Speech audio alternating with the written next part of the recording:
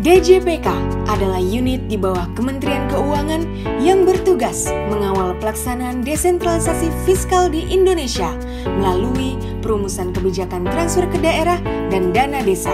Berdiri sejak tahun 2000, saat ini DJPK bekerja untuk memastikan terciptanya pembangunan yang merata dan berkeadilan di 542 daerah di seluruh Nusantara. Terdapat 5 unit eselon 2 yang masing-masing menjalankan peranan penting sesuai tugas dan fungsinya.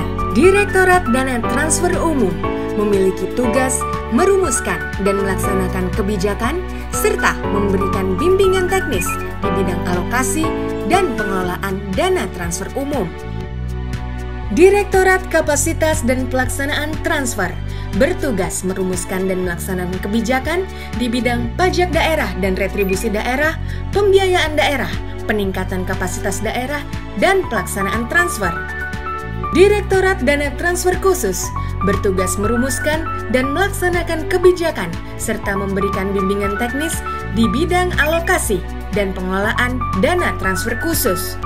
Direktorat Evaluasi dan Sistem Informasi bertugas melaksanakan evaluasi atas pengelolaan dana transfer dan pengelolaan keuangan daerah serta penyelenggaraan sistem, teknologi, dan penyajian informasi keuangan untuk mendukung pelaksanaan kebijakan yang semakin baik.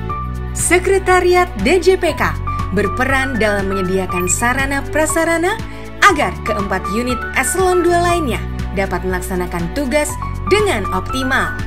DJPK didukung oleh lebih dari 500 sumber daya manusia yang menjunjung tinggi nilai integritas dan profesionalisme dalam pekerjaan. Mengusung semangat DJPK dalam genggaman, stakeholder atau masyarakat umum dapat mengakses informasi terkait transfer ke daerah dan dana desa melalui gadgetnya masing-masing. Bisa lewat website DJPK di www.djpk.kemenq.go.id atau menghubungi call center Dering DJPK 150 420 atau konsultasi online via video conference DJPK.